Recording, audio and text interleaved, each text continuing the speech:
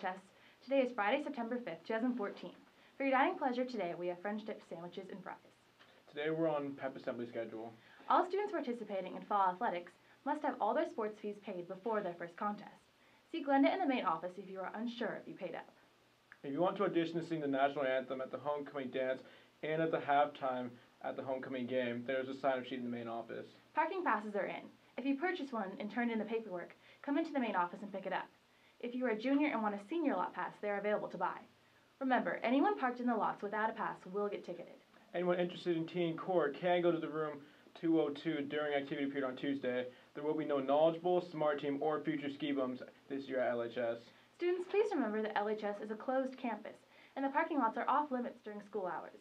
If you need to go to your car for any reason during the day, please check with Chad or the main office before going to the parking lot.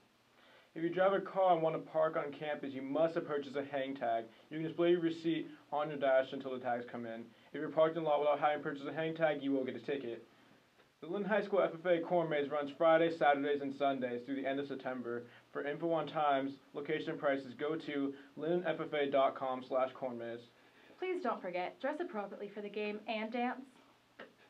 Um, Tuesday, September 9th is our first activity period and will be devoted to club signups.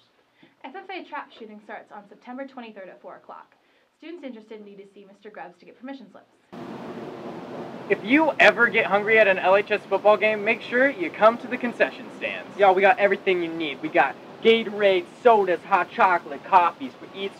We got hot dogs, popcorn, maybe some cookies, and this year's special, we got Westside Pizza coming out bringing you some yummy eats.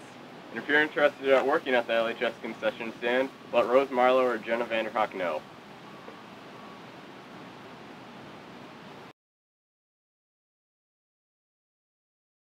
Happy birthday to Stephanie, Clayton, and Alex. Please stand for the Pledge of Allegiance.